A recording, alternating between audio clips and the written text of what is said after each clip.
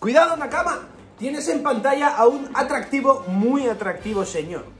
Buenos días Nakama, soy el quinto emperador y hoy os traigo un top sobre los personajes que por lo menos yo considero que más hype tenemos por conocer y que todavía no se han descubierto en la serie, porque spoiler, pocos no son.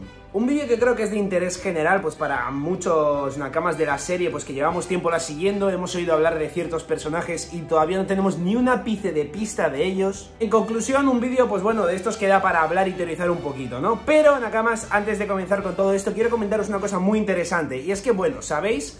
Que yo en lo personal soy, bueno, creo que no hace falta justificación, ¿vale? Soy un vicio de las figuras, me encanta el mundo del coleccionismo y tenemos una cama, ¿de acuerdo? Que ha abierto un estudio, un estudio que se llama 3D Alchemist y que ha sacado su primer prototipo de figura, ¿de acuerdo? Y vengo aquí a presentaros un poquito sobre esta para ayudar a impulsar un poco todo esto, porque la verdad que es una idea muy prometedora. No han ido aspirando por lo bajo haciendo un personaje y ya está, sino que han ido a representar uno de los momentos más top de Dressrosa y respecto a momentos de acción diría que de los mejores de la serie con Doflamingo, Luffy y Trafalgar Law. Ahora mismo vais a verlo en la propia figura.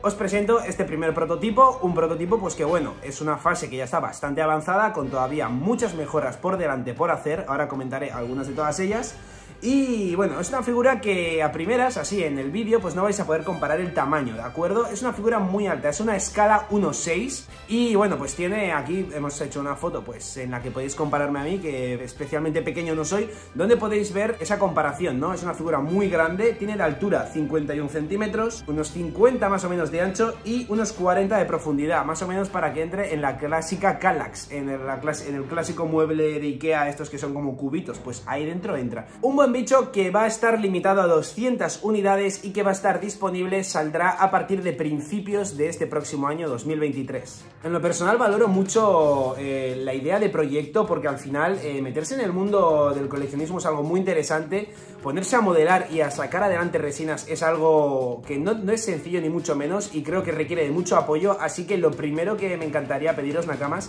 es que vayáis a su Instagram, de acuerdo, el cual os lo dejaré ahí debajo en la descripción, 3D Alchemist, y, que vayáis ahí a seguirle, eh, incluso aunque simplemente no estéis interesados en la figura, simplemente el hecho de apoyar a una cama en todo esto creo que es bastante mm, bonito y, al final no nos cuesta nada a nosotros, como cuando siempre yo os pido una suscripción, básicamente, pues que es algo que no cuesta dinero, no cuesta nada, pero ganar esa notoriedad se agradece. Y en caso de que estés interesado en Nakama, pues más de lo mismo, tan sencillo como seguir a 3D Alchemist en Instagram o si no, pues mandarle un correo al correo que tendréis también ahí en la descripción para enteraros pues de más cosillas que tal vez yo no os haya especificado aquí en este en este vídeo, en este anuncio. En lo personal, ya os digo, es una resina que me gusta bastante, me gusta mucho, sobre todo la capa, cómo se ha texturizado, es decir, tiene, tiene muy bien cuidada la capa, ¿de acuerdo? Se ve que no está hecha por cualquier persona tampoco.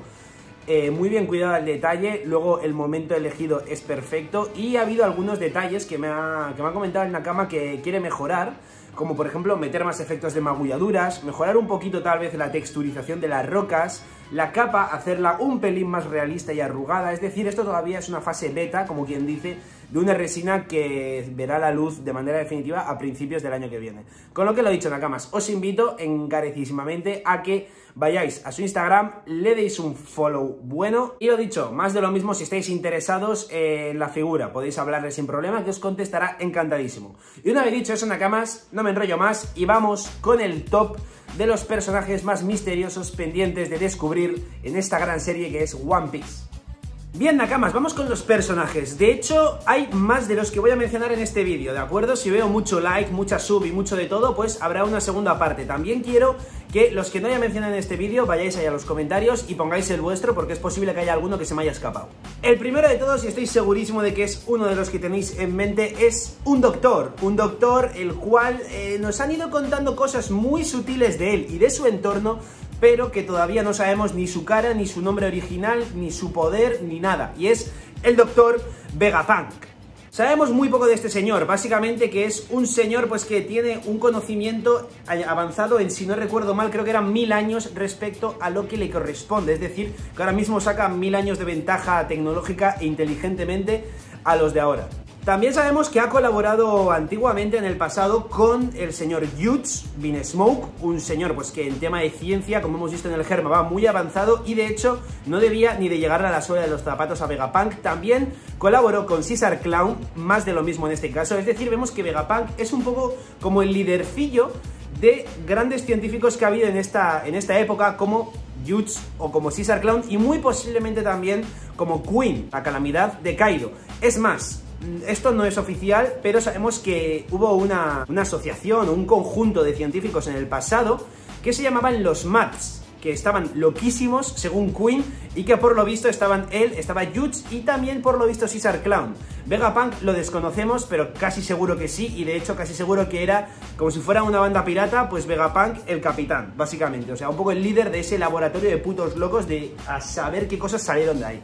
Sabemos muy poco de él, se especula que podría ser el padre de Frankie, a mí eso es algo que me atrae mucho, la verdad, porque desconocemos eh, los padres originales de Frankie, más allá del adoptivo, ¿no? Como es Tom. Y creo que sería bastante interesante ver a alguien tan interesante como Vegapunk, eh, el cual también nos dejó algunas pistas, por cierto, donde Frankie precisamente pasó el time skip en la isla Kura, eh, Karakuri, perdón, Karakuri, pues básicamente mostrando un poco lo que iba a venir a ser muy posiblemente el SSG, ese arma que Vegapunk ha creado capaz de sustituir a los Ichibukai, que por lo visto parece ser que va a ser eh, aplicar a armas poderes Zoan de Akuma no Mis. Es decir, pues que pues como Spandam o como el perro de Arabasta, ¿no? Los ejemplos de siempre. Básicamente con un arma le das voluntad y capacidad de atacar. De esta manera, con uno o con dos no haces una mierda.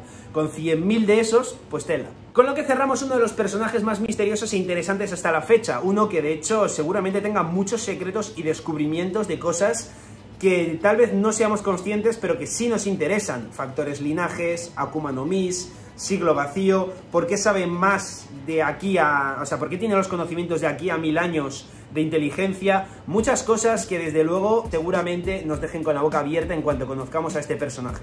El segundo, el cual, bueno, segurísimo también que es eh, el, top 1 y top 2, el Vegapunk y este que voy a decir ahora, los que más ganas tenéis de, descubrir entre todos y que seguro que estáis esperando que lo diga, y es, bueno, el capitán de la tripulación que más hizo temblar los mares hasta que llegó Roger, ese puto titán capaz de tener en la tripulación a gente como Shirohige, a gente como Kaido, a gente como, como Big Mom, como Shiki el León Dorado, o sea, alguien capaz de, en principio, ser capaz de manejar todos esos titanes, el putísimo Baggy el payaso.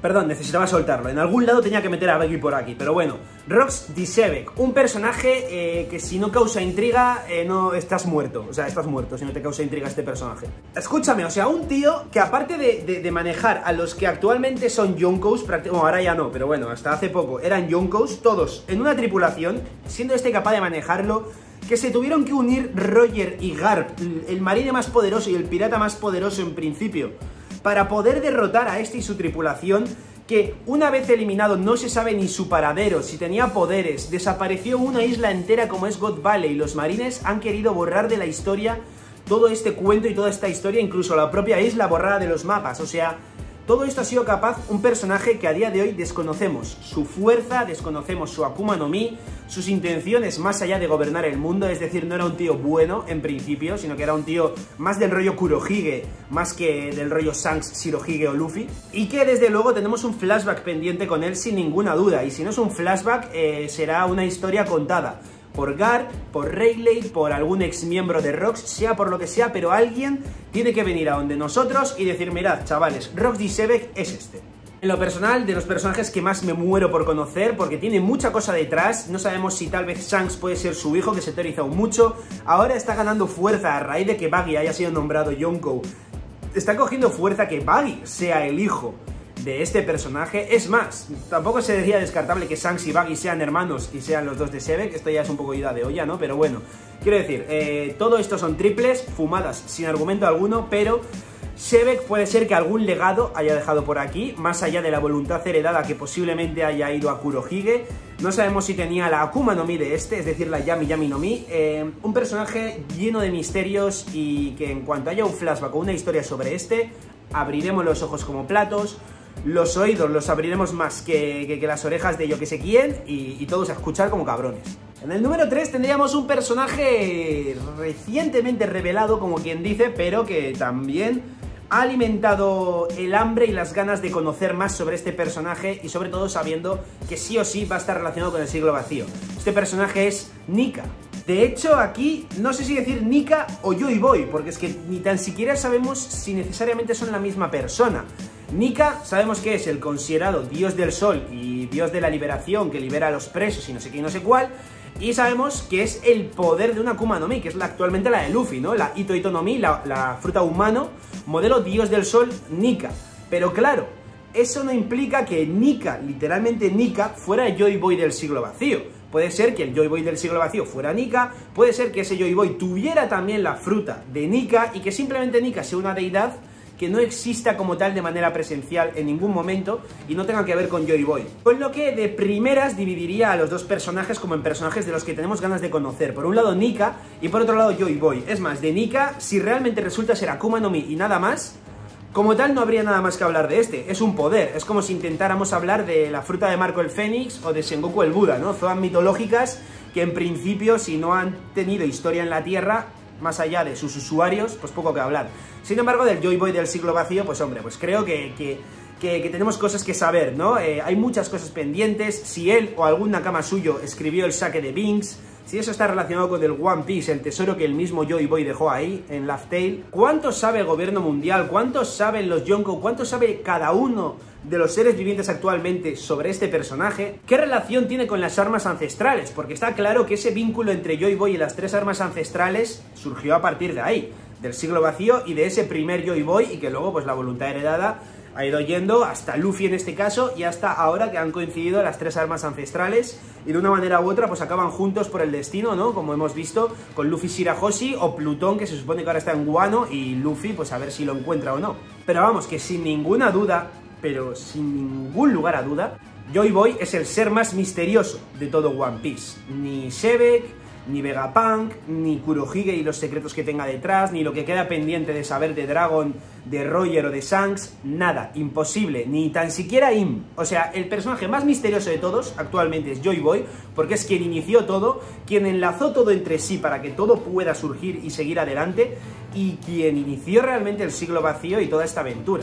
Vamos con el cuarto personaje. Este es más, yo creo que ya meme que, personaje, que personaje misterioso, y es que al principio durante mucho tiempo sí que lo fue, fue un personaje misterioso, es más, atribuíamos a cada personaje que aparecía la identidad de este señor de aquí y es el que tenéis aquí en pantalla, Nakamas. Ese maldito ser misterioso con aires totalmente de guano que está tomando saque con Crocus en los cabos gemelos y con la boom de fondo. O sea, este personaje, o sea, no nos ha dado que pensar ni que dar vueltas de que yo que sé, te aparece cualquier personaje en cualquier arco que tiene mínimamente pinta de interesante pues ahí lo tienes, es este, es el, rubio de los cabos gemelos, o sea, pero así. Y yo me incluyo entre los pecadores, o sea, cada personaje raro o sospechoso que aparecía podía ser este. Ahora mismo ni puñetera idea, no sabemos ni tan siquiera si lo hemos llegado a ver, yo creo que hasta el momento no ha aparecido, es decir, no es alguien como Kawamatsu, Yamato, eh, Shiki se comenta, se comenta que Shiki podría ser, pero a mí yo el papel de que Shiki aparezca en, en One Piece lo tengo complicado, no lo creo, porque al haber aparecido en una película ya, automáticamente es como que se ha descartado un poquito. Que haya menciones, sí. Ahora, que aparezca con presencia y con importancia, lo dudo mucho. Con lo que a día de hoy este personaje sigue siendo un misterio, no sabemos si efectivamente es Shiki o no, si es alguien del gobierno mundial, de Guano, que es lo que más pinta tiene por, por ese kimono, ese traje, esa, no me acuerdo cómo se llama, capa o no me acuerdo cómo se llama, el gorro este que, que hace Tama y demás. Un personaje misterioso cuanto menos, pero que actualmente más allá de suponer que puede ser de Guano, no tenemos ninguna otra pista. Y este vídeo, Nakamas, lo vamos a cerrar con el señor que actualmente gobierna el mundo a las sombras. Ese señor que desconocemos si proviene del siglo vacío, si tiene alguna Akuma no Mi, que hizo capaz, que tuvo el poder de hacer que los que creíamos que eran los máximos dirigentes del mundo, el Gorosei, se arrodillaran ante este ser. Estamos hablando de Condi Oriano, Perdón, ya paro. Es que me encanta como ir describiéndolo, que todo el mundo lo tenga claro y romper el ojete con un personaje cutre. Es que me encanta, lo siento. Obviamente hablamos de Im, Im Sama, ese, ese ser del cual solo vimos un ojo, eh, una espalda, se ve que tiene una corona así súper alargada, que tiene manos relativamente afeminadas para lo que suele diseñar Oda normalmente, porque a un hombre le suele dibujar o con, o con manos normales, como quien dice, o con unos morcillones que te cagas, mientras que a las mujeres, quitando gente pues como Dadan y compañía, que son como gente robusta y tal, suele hacerlas muy finas, muy delgadas, y en este caso con Im es, es la situación, que, que, tiene unas manos muy finas y muy delicadas, digamos, ¿no? De, delgaditas, mejor dicho. Entonces, eso alimenta la posibilidad de que efectivamente sea sea una reina, una diosa, un como queramos llamarlo, una mujer básicamente que gobierna el mundo. Y bueno, aquí las teorías no faltan obviamente, también tenemos un síndrome en One Piece que poco a poco se va pasando, pero todavía existe un poco, al igual que con el asignar quién es la persona rubia de, de, los cabos gemelos, pues aquí pasa lo mismo y es el problema de asignar cualquier mujer nueva que sale a que es la madre de Luffy, ¿no? Pues claro, aquí Im te aparece. Tiene esos pequeños rasgos femeninos, entonces ya es la madre de Luffy oficialmente. A mí eso no me haría ni puñetera gracia porque querría... sería lo más cliché del mundo. Y One Piece es verdad que es un shonen y obviamente pues alguna cosa cliché tiene, ¿no? El poder de la amistad, el protagonista siempre gana, no sé qué, vale, sí, obviamente es un shonen y tiene cliché, pero por favor no me peques del cliché más clichéístico de todos, que es que el enemigo final es un familiar del protagonista. O sea, es que eso a mí no me gustaría nada y no sería Goda no sería un factor Goda. Aún así, obviamente no es descartable, eh, no sabemos si proviene del siglo vacío o no, mm, yo apostaría a que sí, a que fue la persona un poco pues que vivió ahí como la contraparte de Joy Boy, ¿no? Tal vez incluso pudo llegar a ser la mujer de Joy Boy, la hermana, la hija, a saber, y en caso de ser hombre, pues bueno, pues un ex Nakama de Joy Boy, un el Luffy contra Kurohige, Roxy Shebek contra Goldie Roger, pues el Joy Boy contra Aim, podría serlo sin ningún problema.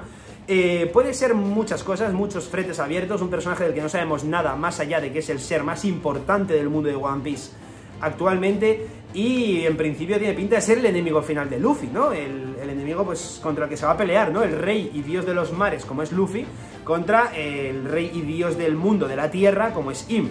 Tiene todo el sentido del mundo y estaría bastante guay y eso sería sobre todo lo que determina que Luffy ha superado a Roger. Pero ya os digo, hasta la fecha ninguna pista, ningún indicio de nada, no podemos saber si tiene Akuma no Mi o no, operación de la eterna juventud o no, familiar o no, es imposible de saber y solamente, como siempre os digo, el tiempo nos lo resolverá. Y nada más, hasta aquí llegaría este videito, este top, llamémoslo así, que la verdad que me apetecía bastante hacer porque es algo pues que de vez en cuando está guay hacer, ¿no? Comentar un poco lo que ya sabemos. si os ha gustado el vídeo, Nakamas, de verdad os ruego, me encantaría, me alucinaría que deis un like y sobre todísimo, ya sabéis, ir ahí abajo y que os suscribierais para ver que el vídeo ha gustado, que, que me estáis ahí ayudando a seguir creciendo en toda esta aventura de YouTube y demás. Y lo dicho, poned en los comentarios si creéis que hay personajes pendientes de comentar. Yo tengo todavía alguno en la recámara que sé que no he comentado en este vídeo y es porque quiero hacer una segunda parte. Así que si veo mucho like y sobre todo mucha suscripción y comentarios, ahí es cuando decidiré sacar esta segunda parte a la luz. ¿De acuerdo, Nakamas? Espero que os haya gustado y lo dicho, un saludo Nakamas y hasta mi próximo vídeo.